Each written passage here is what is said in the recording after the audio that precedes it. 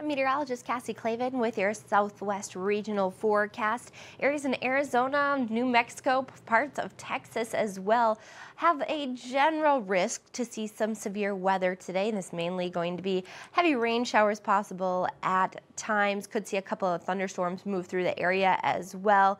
Um, we can start to see that today as you can see those showers moving through areas such as Phoenix, uh, up through Arizona. Also seeing some rain showers. Could see some thunderstorms overnight tonight uh, in New Mexico, moving into Texas, uh, heading into the day on Wednesday. Not expecting anything too severe, just could see those heavier rain showers at times. We got the return of some uh, monsoonal moisture once again, uh, bringing in those chances of rain.